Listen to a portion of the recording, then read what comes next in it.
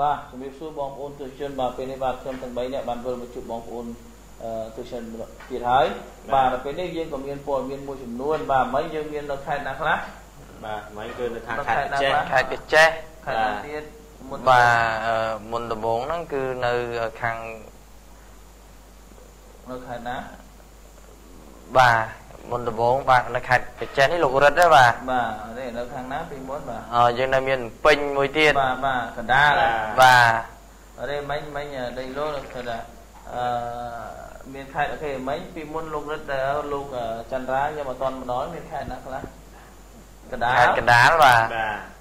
ហើយខេត្តណាទៀតខេត្តកណ្ដាលហើយពេញខ្ញុំមុនបាទពីរបាទបាទហើយលោកពីរនាយកមិញហ្នឹងបានកចេះមួយទៀតបាទមួយទៀតបាទបាទឡើយពេលនេះគឺយើងអឺ ចូលខេត្តកណ្ដាលខេត្តកណ្ដាលម្ដងបាទខេត្តកណ្ដាលម្ដងបាទបាទបាទឥឡូវមើលលោកធីរ៉ាដាក់រឿងមួយនៅខេត្តកណ្ដាលមួយឲ្យបងប្អូនយើងបានទស្សអឺ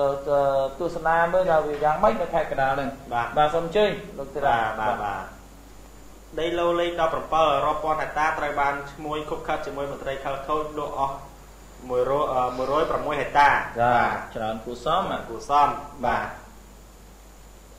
អាណាចក្រឡូអឺអឺអាណា ចក្រឡូលេខ17ត្រូវបានលក់អស់ផ្ទៃដី106ហិកតាទៅឲ្យឈ្មួញធំមហាសាលដោយមានជាប់ពាក់ព័ន្ធអឺជាមួយនឹងពលរដ្ឋអាមេរិកនិងអាជ្ញាធរមួយចំនួនួននសំទោសមិនមែនពលរដ្ឋអាមេរិកទេពលរដ្ឋអឺមានន័យថាថា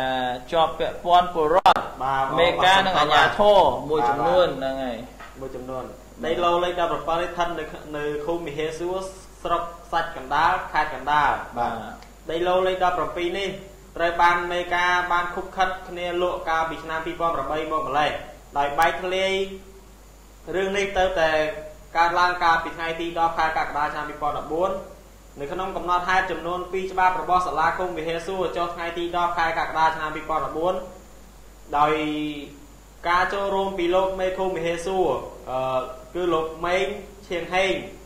លោកអឺ លោកជឿនសុផលតំណាងឲ្យក្រុមហ៊ុន 7NG លោកយានធីធ្វើការនៅក្រុមហ៊ុន 7NG លោកអឺមីមើជាអ្នកឈរនឹងទិញលក់នៅភូមិព្រៃចាស់ភូមិវិហារសួរលោកអឺខិនអឹមអ្នកលក់អឺអ្នកឈរទិញនឹងលក់នៅភូមិតាកែវ2ភូមិវិហារសួរនិងពលរដ្ឋជាង7នាក់ទៀត ជាអ្នកឈរឈ្មោះទិញនិងលក់ដីឡូ17នេះទៅឲ្យតំណាងក្រុមហ៊ុន 7NG មេឃុំវិហារសួរលោកម៉េងឈៀងហេងមេឃុំទៅតែឡើងថ្មីជំនួសមេឃុំចាស់លោកម៉ែនគង់បានឲ្យដឹងថាពាក់ព័ន្ធនឹងករណីលក់ដីឡូ17នេះលោកមិនបានដឹងទេដោយសារលោកទៅតែបែកធ្លាយរឿងនេះកាលពីថ្ងៃទី10ខែកក្កដាឆ្នាំ2014ហើយរឿងរ៉ាវលក់ដីឡូលេខ17លោកបានហៅអ្នកពាក់ព័ន្ធមកធ្វើកំណត់ហេតុ ឲ្យបញ្ឈប់ជាបន្តហើយតម្លៃដីឡូនេះក្នុងមួយហិកតាតម្លៃ400ដុល្លារអូថោកផងណាបាទបាទដីថោកបាទបាទក្នុងមួយហិកតាគឺតម្លៃ400ដុល្លារបាទថោកមែនតើបាទជុំវិញការលក់ដីឡូ17នេះផងដែរត្រូវបាននាយសង្កាត់រដ្ឋបាលជលផលស្រុកសាច់កណ្ដាលលោកជួបសំណាង បានធ្វើការបកស្រាយបំភ្លឺតាមទូរស័ព្ទកាលពីថ្ងៃទី1ខែសីហាឆ្នាំ2014នេះថាបាទខែហ្នឹងថ្ងៃហ្នឹងបាទត្រឹមថ្ងៃបាទមិញថ្ងៃហ្នឹងហ្នឹងតែម្ដបាទងបាទត្រឹមបាទថ្ងៃហ្នឹងហ្មងបាទសូមឲ្យទឺជំរាបសួរអាជ្ញាធរស្រុកទៅដឹងច្បាស់អូអូបាទគាត់បញ្ជូនអឺទៅឲ្យទៅសួរអាជ្ញាធរស្រុកគាត់ដឹងច្បាស់បាទបាទការឆ្លើយបែបការឆ្លើយបែបរលាស់ដៃរួចយករួចខ្លួនរបស់លោកអឺជួបសំណាងត្រូវបានមហាជនរិះគន់ថា អឺជាការលេះតែប៉ុណ្ណោះប៉ុន្តែបើតាប្រជាពលរដ្ឋក្រីក្រអឺប្រកបរបរនេសាទនិងកាប់ព្រៃបន្តិចបន្តួចក្នុងដែនជម្រកត្រីក្នុងឡូលេខ17ត្រូវបានលោកជួបសំណាងចាត់ផាកពិន័យបាទចាត់ផាកពិន័យការឆ្លើយតបដាក់គ្នារវាងអ្នកលក់និងអ្នកទិញរវាងអាជ្ញាធរត្រូវបានអភិបាលស្រុកលោកគង់សុផាន់បានធ្វើការអធិប្បាយដោយ ខ្លីបំផុតថាលោកនឹងចាត់កម្លាំងចម្រុះធ្វើការស៊ើបអង្កេតចំពោះការឈោលក់អឺដីឡូលេខ17នេះបាទប្រជាពលរដ្ឋនៅទឹកដីស្រុកខ្សាច់កណ្ដាលចង់ឃើញចំណាត់ការអាជ្ញាធរស្រុកខ្សាច់កណ្ដាលចំពោះអ្នកប្រព្រឹត្តព្រោះថ្មីថ្មីនេះដីបឹងអឺដីបឹងគិចត្រូវបានលក់អស់ជាង50ហិកតាផងដែរអូបាទបាទបងប្អូនទស្សនិកជនបាទនេះគឺជារឿងមួយ ពាក់ព័ន្ធនឹងដីធ្លីដោយនិយាយទៅគឺដោយអឺថាថាមាន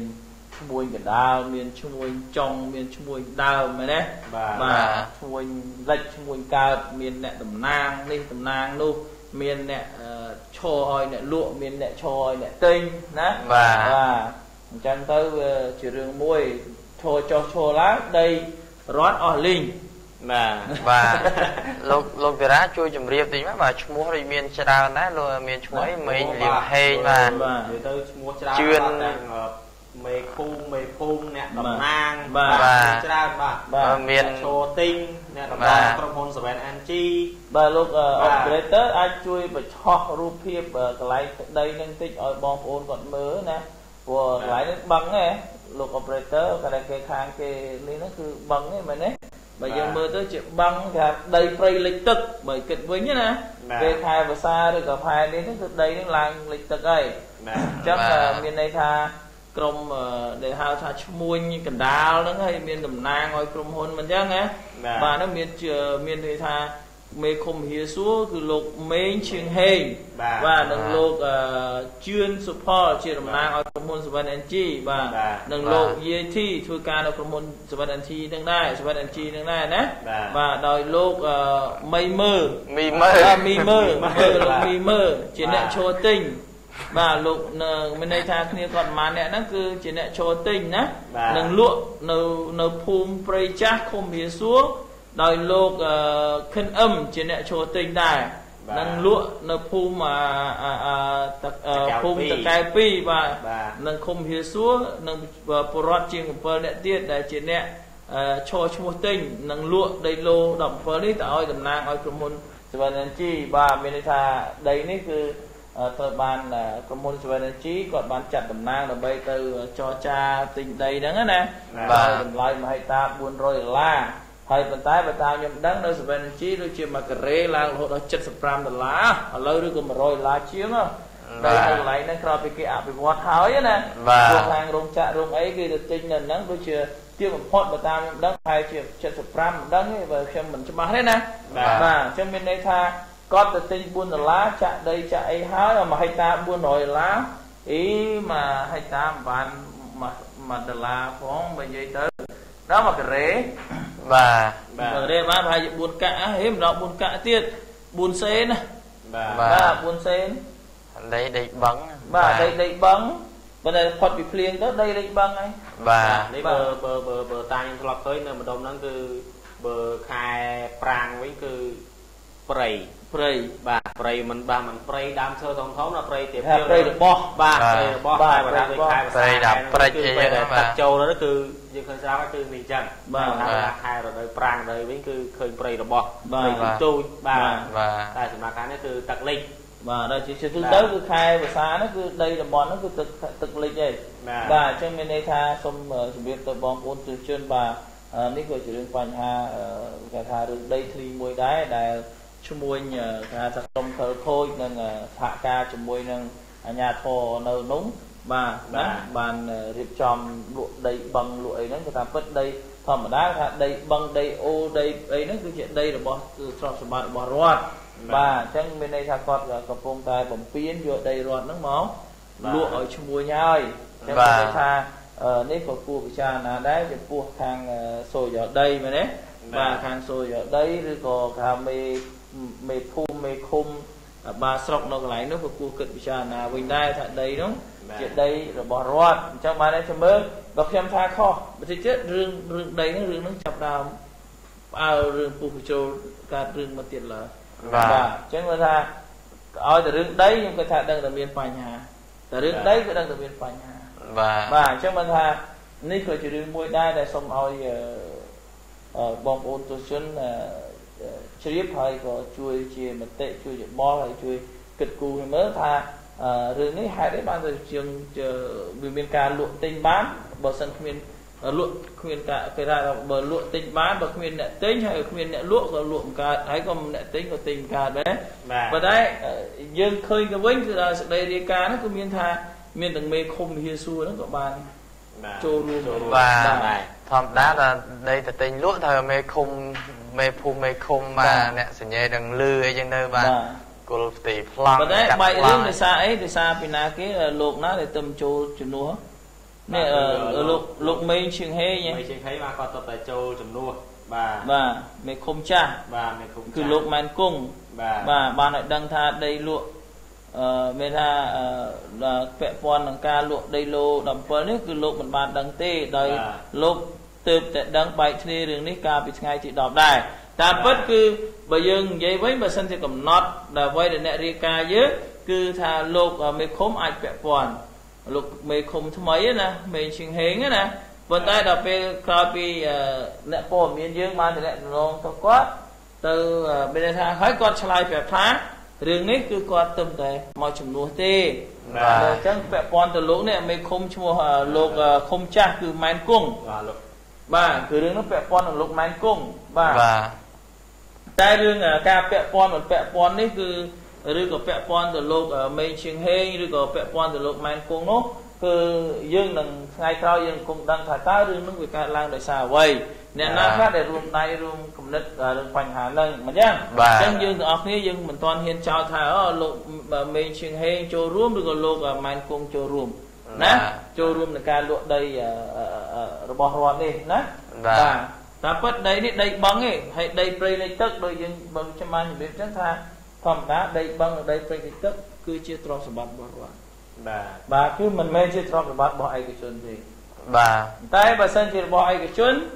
អាហ្នឹងវាជារឿងធម្មតារបស់ដីគេណាបាទបាទប៉ុន្តែនេះបើសិនតាមស្ដាប់មើលគឺលើមិនមែនជាដីរបស់ឯកជនទេ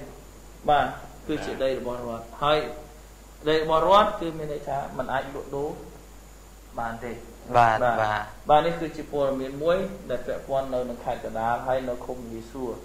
អឺបាទដែលពាក់ព័ន្ធនៅតំបន់គេហៅថាអភិវឌ្ឍសេដ្ឋកិច្ច 7NG បាទនេះគឺជាការអភិវឌ្ឍរបស់ក្រុមហ៊ុនអឺ 7NG ដែលបាទបានបង្កើតជាតំបន់ឧស្សាហកម្មមួយ គឺផ្នែកឧស្សាហកម្មកាត់ដេរណាបាទវាស្បែកជើងអីនៅក្នុងតំបន់នោះបាទអញ្ចឹងបានន័យថាអឺ ការដែលគាត់ពង្រីកនិងការដែលគាត់ទិញដីនេះគឺមានន័យថាគាត់ចង់ពង្រីកនៅតំបន់ឧស្សាហកម្មនៅកន្លែងនោះបាទបាទហើយក៏សូមជម្រាបទៅបងប្អូនទូជនដែរថាអ្វីដែលកើតឡើងគឺវាមានហេតុនិងផលបើសិនជាអត់មានហេតុទេក៏រកអាផលហ្នឹងគឺវាមិនកើតមកដែរបាទបាទអញ្ចឹងហេតុផលដែលកើតឡើងគឺអ្នកណាដែលធ្វើគឺមានន័យថាមិនមែនតែម្នាក់ទេដែលអាចធ្វើចេញហេតុផលនោះបានគឺមានត្រូវចូលរួមពី គេហៅថាគ្រប់មជ្ឈដ្ឋានទាំងអស់បាទទាំងអ្នកលក់ទាំងអ្នកទិញបាទបាទបើសិនអ្នកទិញមិនមិនមានយោបល់ថាចង់ទិញអ្នកលក់ក៏ពិបាកបាទហ្នឹងហើយហើយបើអ្នកលក់ថាគ្មានយោបល់ចង់លក់អ្នកទិញក៏ក៏គ្មានអារម្មណ៍នឹងទិញដែរបាទប៉ុន្តែជាទូទៅអ្នកទិញ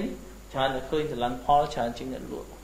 បាទបាទព្រោះគាត់ចង់ទិញគឺមានន័យថាគាត់ចង់បានដីហ្នឹងគឺមានន័យគាត់ទៅទិញមានថាដីហ្នឹងគាត់ចង់ធ្វើអីហ៎អញ្ចឹងគាត់គិតវែងឆ្ងាយដល់ទៀត បាទបាទនេះគឺជារឿងមួយពាក់ព័ន្ធនឹងបញ្ហាដីធ្លីណាបាទនេះជាព័ត៌មានបាទបាទសម្រាប់ជូនទៅដល់បងប្អូនទស្សនិកជនបាទអឺទស្សនាបាទតែឥឡូវអឺលោកអឺចន្ទរាមានអីអឺបន្ថែមទេព្រោះមានអីដើម្បីឲ្យបងប្អូនទស្សនិកជនយើងអឺដឹងថែមទៀតទេបាទថែមផ្សេងទៅយកព័ត៌មានបាទផ្សេងមួយមកបាទហ្នឹងថ្ងៃនេះបាទសូមលើកខាងកំពង់ឆ្នាំងវិញបាទបាទជាមួយនឹងបាទ